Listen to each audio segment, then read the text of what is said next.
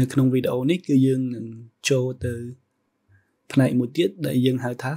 artificial light អញ្ចឹង artificial light នៅក្នុង Corona គឺសំដៅទៅលើ Corona light អូខេអញ្ចឹងនេះគឺជា scene model ដែលយើងមាន sample model មួយដែលយើងចាប់កាមេរ៉ាហើយមានតុកមួយពីរនេះនឹងមានជាងដែលយើង apply generic material ចូល អូខេអញ្ចឹងយើងអាចបង្កើត corona light ឬក៏ artificial light ដោយចូលមកក្នុង light category ហើយយើងដូរពី photometric ទៅជា corona យើងយក corona light ឬក៏យើងចូលមកលើ toolbar ដោយ access មក icon មួយនេះឈ្មោះថា create corona light អញ្ចឹងយើង click លើនឹងមក យើងចូលមកលើផ្ទាំង view port របស់យើងយើង click enter ដើម្បីបង្កើត light អូខេអញ្ចឹងពេលដែលយើងបង្កើតបាន light នៅលើនឹងមួយហើយយើងអាច right click ដើម្បីផ្ដាច់ comment អូខេឥឡូវខ្ញុំ move light នឹងឡើងមកលើបន្តិចយើងនឹងឃើញនៅលើផ្ទាំងមួយនេះដែលជាកាមេរ៉ាអូខេ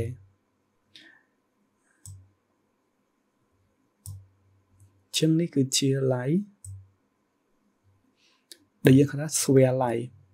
អញ្ចឹងនៅក្នុង Corona ប្រភេទ light គឺយើងអាច access បាននៅតាម shape របស់វាអញ្ចឹងវាគឺជា artificial light អ្វីដែលខុសគ្នាគឺ shape របស់វាអញ្ចឹងកាលណាយើងដូរ shape កម្មពន្លឺដែលវាសាយទៅអាចនឹងមានភាពខុសគ្នាខ្លះហើយក៏វាមាន property របស់វាផ្សេងផ្សេងពីគ្នាតិចតួចដូចករណីនេះពេលដែលយើងឈរនៅលើ sphere light យើងអាច access ទៅនឹង directionality បានទេតែបើយើងដូរពី sphere មក rectangle light ឬក៏ disk light យើងអាច access directionality បានអញ្ចឹងបើយើងមើលទៅ light របស់យើងមាន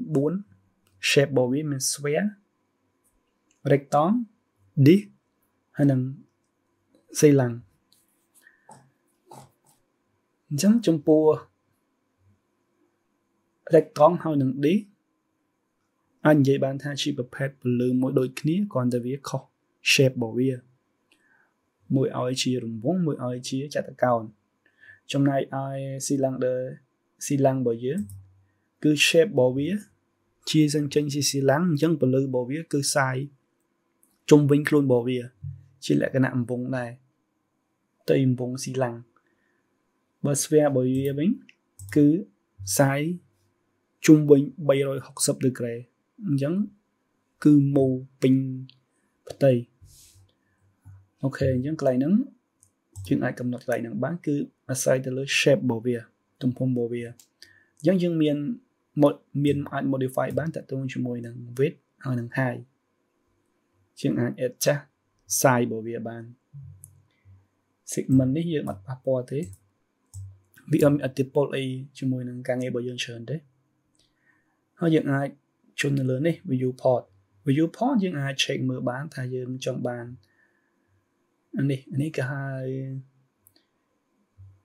gizmo gizmo នេះគឺកន្លែងនេះអញ្ចឹង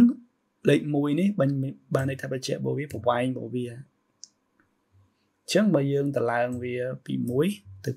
5យើងនឹងឃើញអា gizmo ហ្នឹងគឺវាវែងវែង អូខេហើយ wireframe អញ្ចឹងយើងអាច show ជាលក្ខណៈសាច់ឬក៏ show ជាលក្ខណៈ wireframe បានយើងគ្លីកទៅយើងឃើញថា frame នៅខាងក្រៅវាយើងឃើញសាច់របស់វាទេពេលយើងដូរពីហ្នឹងទៅកន្លែង rectangle វិញទៅយើងនឹងឃើញអូខេ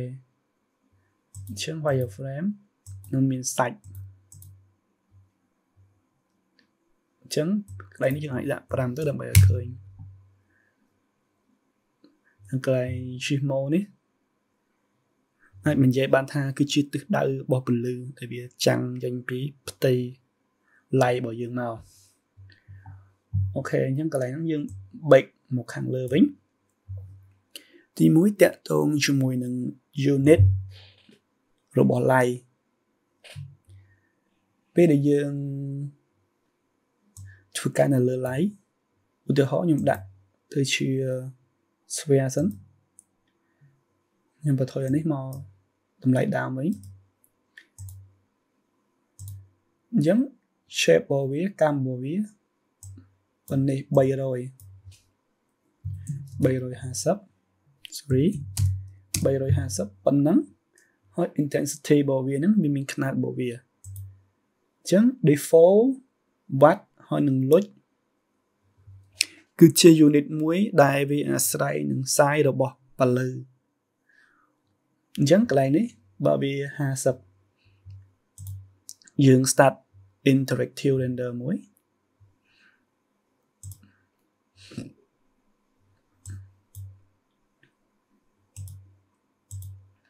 អូខេយើង lock កាមេរ៉ាមួយ យើង start IO អូខេអញ្ចឹងយើងនឹងឃើញពលឺប៉ុណ្នេះមកអញ្ចឹងកាលណាយើងបន្ថយ size របស់ពលឺពី300មកត្រឹម50យើងនឹងឃើញពលឺរបស់យើងគឺថយអញ្ចឹង unit ដែលមាន default watt ហើយនឹងលុចគឺ depend on size អាស្រ័យទៅនឹងទំហំរបស់ពលឺរបស់យើង ចំណែកឯ candela ហើយនឹង lumen គឺជា unit មួយដែល fit អត់អាស្រ័យនឹងទំហំរបស់ size របស់លើងទេទំហំ size របស់ពលឺអញ្ចឹងជាទូទៅយើងគួរតែប្រើ unit ពីរនេះដើម្បីឲ្យពលឺរបស់យើង sue control អញ្ចឹងករណីដែលយើងដូរទៅជា candela អូខេអញ្ចឹងនេះជាຂະຫນາດរបស់វា1000ខ្ញុំដាក់ទៅ 5000ជាងនេះធ្វើអញ្ចឹងពលឺរបស់យើងគឺភ្លឺហើយបើយើងកែសាយរបស់វាពី50មក350វិញអញ្ចឹងអ្វីដែលកើនឡើងគឺទំហំសាយរបស់ពលឺយើងឃើញទំហំវាធំជាងមុនប៉ុន្តែពលឺដែលវាសាយមកគឺនៅដដែលអូខេ អញ្ចឹងកន្លែងហ្នឹងយើងមកមើលនៅខាងក្រោមបន្តិចតកតងជាមួយនឹង non physical property អញ្ចឹងកន្លែង non physical property នេះគេចង់សម្ដៅថាវាយើងអាចថា fake situation អញ្ចឹងលក្ខខណ្ឌនេះ visibility directly យើងអាចឃើញនៅលើនេះឬក៏យើងដោះលើនឹងចេញមកយើងអត់ឃើញពលឺរបស់យើងនៅក្នុង render របស់យើងនេះយើងប្រភពពលឺរបស់យើងគឺនៅកណ្ដាលប៉ុន្តែយើង render អត់ឃើញ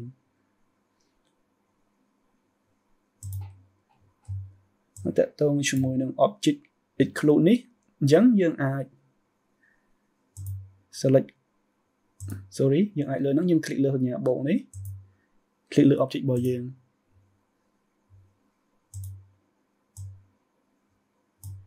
អញ្ចឹងជាងពេលយើង render object របស់យើងនេះអត់ទទួលពន្លឺយើងឃើញវាខ្មៅឡើងណាទេ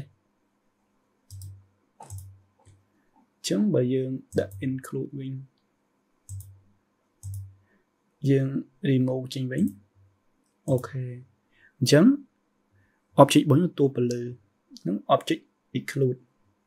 OK អញ្ចឹងមុខងារទាំងអស់នេះគឺយើងជាធម្មតាគឺយើងប្រើវាលើកលែងទៅករណីពិសេសមួយចំនួនដែលវាមានបញ្ហាទៅពី render តែប៉ុណ្ណោះអូខេអញ្ចឹងយើងមកមើលមួយចំណុចមួយទៀតតកតងជាមួយនឹង directionality អញ្ចឹង directionality យើងប្រើករណីដែលយើង ប្រើប្រាស់ rectangle ឬក៏ display អញ្ចឹងយើង convert sphere ហ្នឹងទៅជា display អូខេអញ្ចឹងយើងមូលឡើងលើអញ្ចឹងពេលដែលយើងមូលឡើងលើយើងឃើញ light របស់យើងភ្លឺអញ្ចឹងករណីនេះយើងអាចបើកនេះមួយ wireframe អញ្ចឹងពេលយើងបើកយើងឃើញកន្លែងនេះយើងអាចកែ តម្លៃ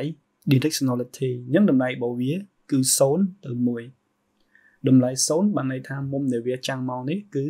180ដឺក្រេអញ្ចឹងចាំងលើផ្ទៃមុំស្មើកាលណានឹងយើងដាក់តម្លៃវាមួយគឺវាចាំងគឺមកក្រោមគឺនៅមុំបែរថាមុំ90ត្រង់ចុះក្រោមហើយដើម្បីឲ្យយើងស៊ូមើលយើងអាចមើលលើមើល shape របស់វាបានគឺ key small យើងអាច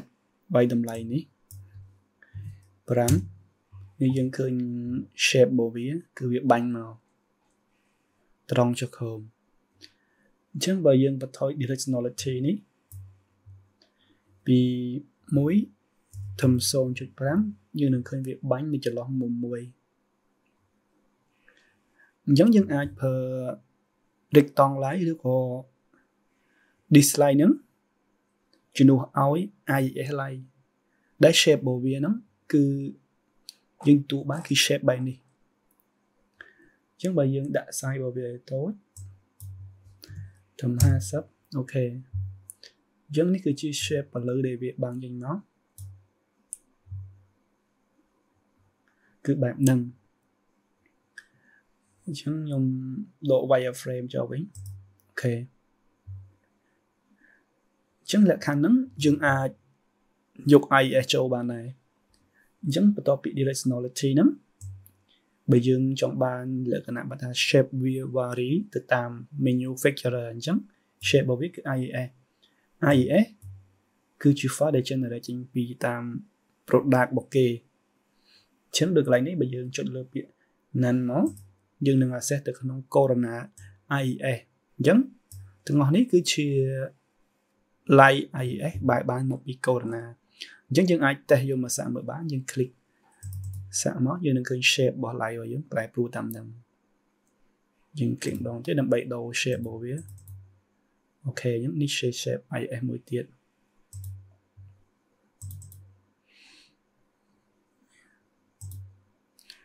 អញ្ចឹងយើងអាចប្រើប្រាស់ IES